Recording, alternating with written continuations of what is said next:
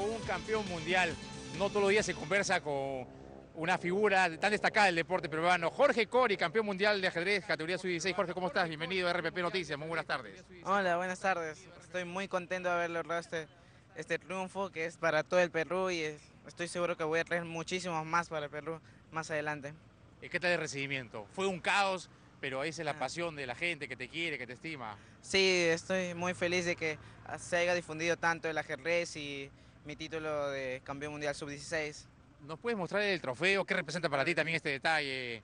El ser campeón mundial sub-16 del ajedrez, Jorge. Sí, la verdad que es muy hermoso. ¿no? Eh, en el aeropuerto recién este trofeo me lo han dado porque lamentablemente no pude llegar a la premiación porque mi vuelo se adelantó cinco horas.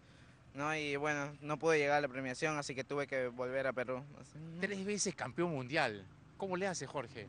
Y bueno, hay que tener mucho esfuerzo, mucho sacrificio y claro, como siempre necesitas apoyo de alguien, como son de mis padres y de la empresa Cementos Lima y Colegio Seco Oliveros que me viene apoyando desde hace tres años.